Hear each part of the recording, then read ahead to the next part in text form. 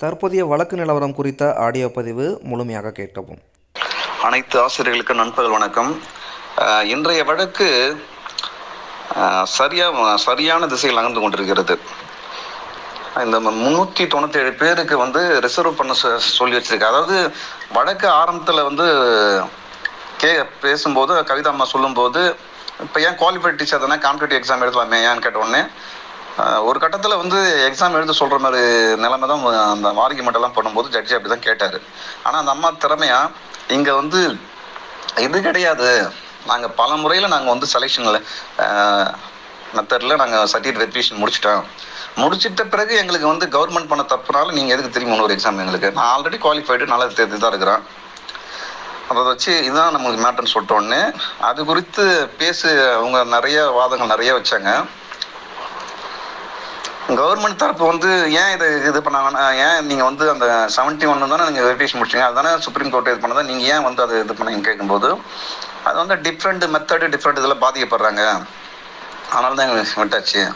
அப்படின்னு கேட்டார். இப்போ அப்படியே வாதம் நல்லா ஒரு மணி நேரம் கிட்டத்தட்ட நம்ம வழக்கு போயிட்டு வந்து வழக்கறிஞர் வந்து டெம்பரரி டீச்சர் இப்போ எவ்வளோ பேர் அப்பார்ட் பண்ணியிருக்காங்கன்ட்டு கவர்மெண்ட் தரப்பு கிட்ட கேட்கும்போது அவங்க ஆறாயிரம் சொன்னாங்க.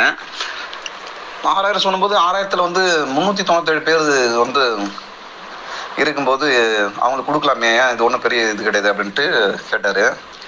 அப்புறம் வந்து நிறைய பேர் இருக்காங்க இந்த மாதிரி வந்து அதாவது டிஃப்ரெண்ட் அந்த இது நிறைய பேர் அப்ளை பண்ண அது ஒன்றும் செய்ய முடியாதுன்னு சொல்லியிருக்காரு அதே மாதிரி.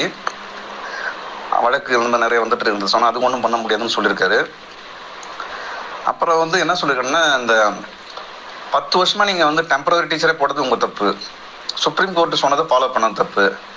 இதெல்லாம் பண்ணிட்டு வந்து இன்னைக்கு வந்து நீ வந்து இன்னொரு காம்படிட்டிவ் எக்ஸாம் எக்ஸாம் சொல்றது வந்து எப்படி இது பண்ண முடியும்? இவங்க இந்த எக்ஸாம் பண்றதுக்கு முன்னாடி தானே இவங்கெல்லாம் இது இது பண்ணியிருக்காங்க அதனால வந்து அவங்களுக்கு கொடு இது ஒரு பிரச்சனை கிடையாதுன்னு லாயர் கவர்மெண்ட் தரப்பு ரொம்ப கெஞ்சி கூத்தாடி தான் பண்ணாரு. ஆனால் எனக்கு ஒரு நாள் டைம் கொடுங்க இது பண்ணி கேட்டார். எனக்கு கொடுக்க மாட்டோம். One hour within one hour மட்டும்தான் பர்மிஷன் கொடுத்தாரு. நாலு மணிக்கு திரும்பி வழக்கு வருது.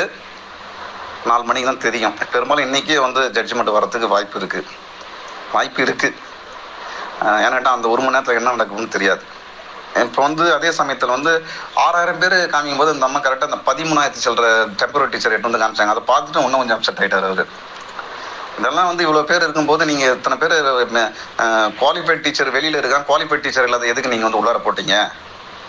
அப்படின்னு கேட்டிருக்காரு. கேட்டார். கேட்டுட்டு தான் வந்து ஒன் ஒன் ஹவர் அவருக்கு ஜட்ஜி நாளைக்கு கேட்டாருக்கு ஒத்துக்கலை. இன்னைக்கே இது முடிச்சிடணும்னு சொல்லிட்டு இது பண்ணியிருக்காரு இதே ஒரு கன்க்ளூஷன் வாங்கன்னு சொல்லியிருக்காரு. ஒரு மணி நேரம் டைம் தரேன்னு சொல்லியிருக்காரு. ஐட்டம் நம்பரை குறித்து வச்சுட்டு நாலு மணிக்கு திரும்பி வழக்கு வருதுன்னு நினைக்கிறேன். நாலு மணிக்கு வந்து முடி ஜட்ஜ்மெண்ட் கொடுப்பாங்களோ? இல்லை வடக்கு திரும்பி முடிவு வந்துடும் நினைக்கிறேன். பெரும்பாலும் ஜட்ஜ்மெண்ட் கிடைச்சிரும். நன்றி.